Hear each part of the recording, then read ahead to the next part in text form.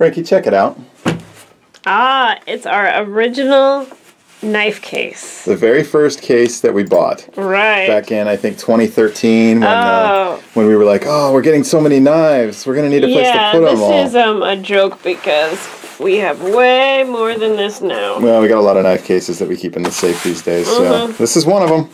But uh, we found a new home for it, though. Right. Yeah. Yes, we have a Well, new home for. It. You guys will have seen it's a it's a Ganzo it's video. a Ganzo collection. that is our Ganzo collection, so we rededicated this case for the Ganzo knives. Yes, yeah, we've still got some more to go. Mm-hmm. Um, let's talk about this case though, real Yeah. quick. Yeah, I, I always kind of liked this one, despite that it's cheap and falling apart. Right. Because of the mesh.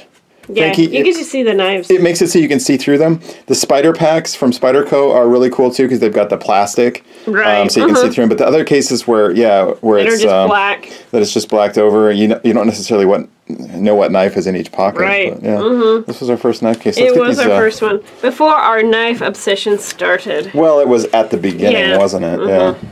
We used to keep our knives uh, back then.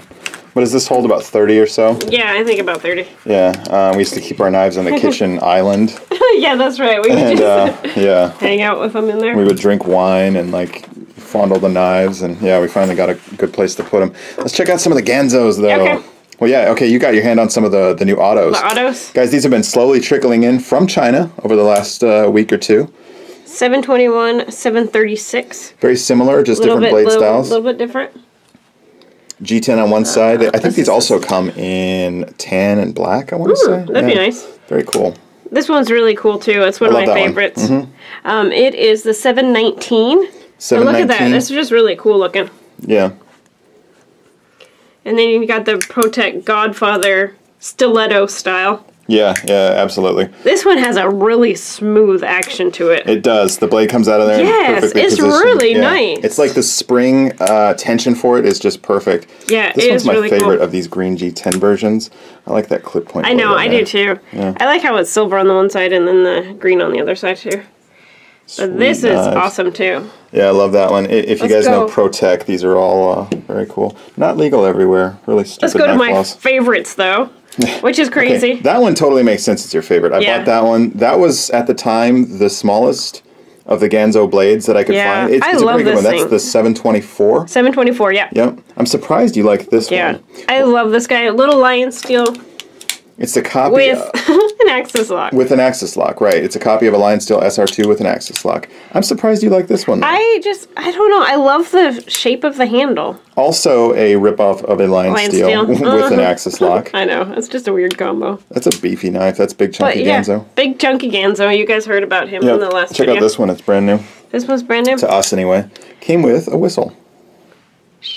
It works. The dogs are probably poking Uh-huh. up in the other room. and then with the black wash or black colored blade. thinking you're thinking uh, Kershaw. I know. Yeah, the, the black finish on there. I like that with the orange. This is a really cool knife. It is really neat looking. It's Yeah. a 741 is what this guy is. Seven forty one. Yeah, With rape whistle. With rape whistle. Check it out. This is the what is that one, Frankie? 714. Seven fourteen. This was a cheap little guy, twelve or thirteen bucks. Um, He has a nice sound to it. Yeah, just a thumb stud and liner lock, simple knife. But uh, Has a nice thwack. yep, I've broken that one in. He's a good thwacker.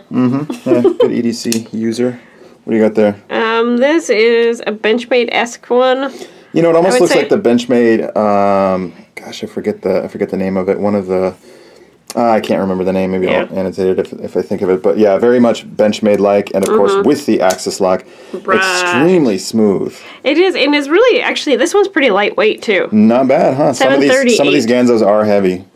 They like we call them chunky Ganzos. Chunky Ganzos, yeah. Big old What chunky got, Frankie? Uh, here, let's go through the 704s real quick. Okay, We did these in our last video. If you caught that, this is the 704 uh, in green. green, Well, OD green, and that's I don't know what you'd call that. zombie green, Zombie green? Okay, works for me. and then the tan. Then the tan, yep. I had got these because I thought about giving a couple of them out, and I just didn't like them as much. These are some of my least favorite Ganzos. Some people like Mm-hmm. them. I understand. It's a cool shape. It's modeled after uh, Benchmade HK. What is that? Okay, one? this is the 742. I really like this one. I really like it too. It's, really thin. It's yeah. thin, and it's a it's a frame lock. Yeah. Check that out. Frame lock. Tip up, big old blade on that. Yeah, that's my style of knife. Yeah, Yeah. I like it. It still needs a break in. A lot of these do. Mm-hmm. Very cool. Okay, and then Actually, I think since you said HK, Mm-hmm. I think that's what this reminds me of. Oh, really? Okay, yeah. Doesn't we weren't sure if this is a We don't copy have of any anything HKs. particular, um, but it's a very a cool knife. or a Zog, Sog, yeah. or something. I'm not sure. I'm not sure. This one still needs a break in. This one's kind of stiff. Yeah. One thing I did notice with these Ganzos is that the axis locks are actually really stiff. They are stiff, yeah, and um, they can be adjusted. We might do that on one or two of these later on. Yeah, so that's one thing I've just noticed. So it's kind of hard to pull it back for me. Mm-hmm. But then there's this one that's real cool too. With Um, the Tanto. you mentioned Sog? Mm-hmm. It does kind of have a Sog look to it. I don't know specifically. Yeah. Maybe the Sogzilla. I'm not sure which. which yeah, one that one maybe. Yeah. uh And this is the f- 701. 701? Yeah, I kind of like that one. I was just thinking this looks like that Kizer Sovereign Tang with that channel with the holes Sovereign in the blade. Tang. Yeah. I just like to say Tang. Tang. Okay, what's this guy? That is so that's the Benchmade Rift copy. Right, the Rift copy. Or- this one is really nice, and Yeah. you've broken this one in pretty good too. Yeah, yeah, we've got one of these out in the field Oh yeah, testing. for testing. Yeah, Mm-hmm. yep, yeah, This is another Benchmade esque one too. yeah. That's the 717, I believe. Yep. We looked at that one in our first video. Very smooth, a little big for your hands. It- the shape on this one, or the blade length on this one, I criticized could be just a touch longer. It seems Yeah, like more handle than short, blade. yeah. Like, yeah, I don't know, mismatched. What else we got? And then this one is one of my new favorites. Okay, yeah. Did we get the Rat One out? Oh yeah, we did. Okay, so this is the this is the uh, ripoff of the Rat One. Frankie, that knife right there. Okay, that's the Ontario Rat One. That Mm-hmm. knife's only thirty dollars. Right. And then Ganzo comes along and they make a ten dollar cheaper version. Okay, like of all the knives to kind of rip off. it's kinda Although I will say it's a good design. The Rat One is a very popular Yeah, knife for a is. reason. But it's like you know of all the Yeah. knives. The thing but is that this one, lock. yeah, it's thin too. It's thinner The, Than the rat, rat. one. I know Yeah. it weighs less too. with an axis yeah. lock with 440C steel versus AUS-8, dare I say this could be a better knife. Right. Or a knife that people prefer over the actual rat. Well, and I love this camo print. It's Yeah, really those cool. they come in a variety of colors. I thought I'd try the camo. Yeah. and then we got the Spyderco um, paramilitary 2 copy with an axis lock. As opposed to the compression lock that they do. Yes, yes. Um, this one is bound to be popular. Frankie, let me see that one there. Which which number is it anyway? Um, it is 729. 729. Yeah, this okay, so the paramilitary 2, Frankie, what do those go for price wise? Mm, like 120, 130. Something like that, right? Very expensive knife, very good knife. We have one. Right. Um, this one is bound to be popular. It's got an axis lock. I mean, that's so Best cool. of both worlds. Kind of, right? Mm-hmm. Yeah, not that the compression. I mean, the compression lock is great, but Right. yeah, for whatever the price these go for, right around twenty bucks. I mean, come on, mm-hmm. it's awesome. Oh, and then let's go with the, one of our both favorites. Is this one is just awesome. that This is is the 712. the seven twelve. Yes, Frankie. Let's pause for a second, okay, let's pause. guys. If you made it this far, you might be rewarded. Yes, rewarded handsomely. We're just gonna do this real quick, real quick. Okay, you'll want to pause here.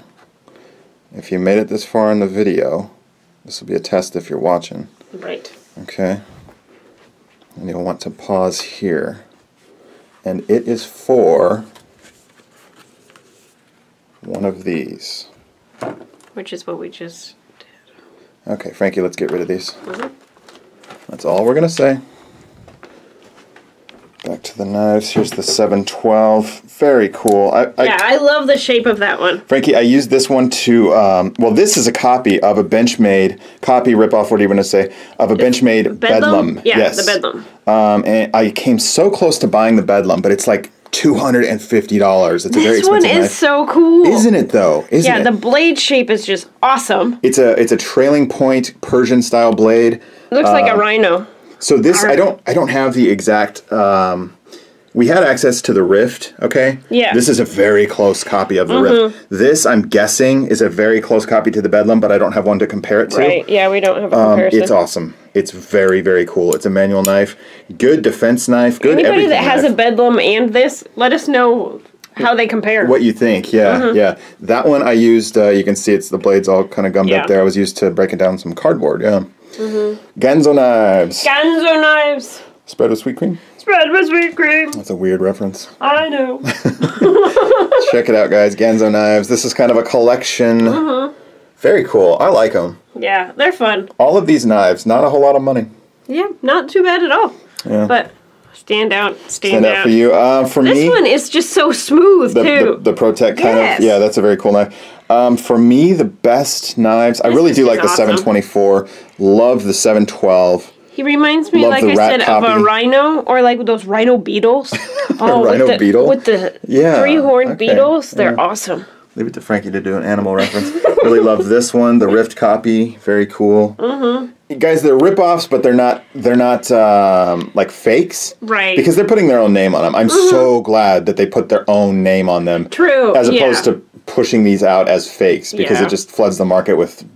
I don't know. It's just a dangerous situation. Right. Yeah, these are But these, these are, are awesome. these are fun. I mean, These represent some good value. Mhm. it's kind of funny to choose like parts of each one too, because yeah, Lion Steel with axis lock. You know, Mm-hmm. yeah, like Spyderco with axis lock. It's just kind of I like weird when they combo. I like when they do things that are like their own. they're more or less their own. Like Mm-hmm. this one, I don't know if this is based off of anything particular. It's thin, frame lock, big old beefy 440C blade. We It's talked about it. yeah. 440C is a good steel. We're still uh, we're still looking to do some testing, and like I said, we've got some knives out in the field that we'll find out a little Yeah, bit more Yeah, that'll be fun to check yeah. them out. Ganzo knives, everybody. Ganzo knives. Thanks for watching. Yeah. Thanks a lot for watching, guys. Uh, look for look for more of these. We might pick one or two favorites out and do some more uh, cutting tests, or Mm-hmm. who knows, individual reviews in the future. But yeah, Ganzo knives, they sure are fun. yep. Yeah, thanks a lot for watching, guys. Bye.